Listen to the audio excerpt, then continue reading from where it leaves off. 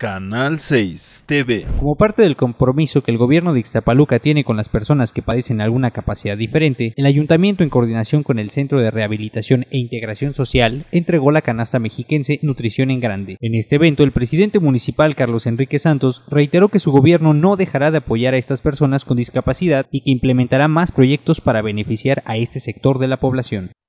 No podemos abstraernos de los pequeñitos que necesitan auxilio, que necesitamos ponerle atención y en esa preocupación el gobierno municipal construyó estas instalaciones.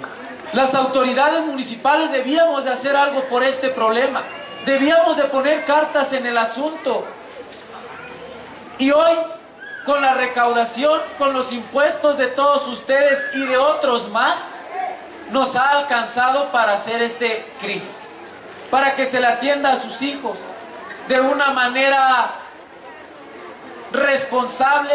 En total, 750 canastas fueron entregadas para este sector de la población. Además, el edil, a través de la directora del DIFIX Zapaluca, se comprometió a otorgar becas económicas mensuales destinadas a aquellas personas que padezcan alguna discapacidad.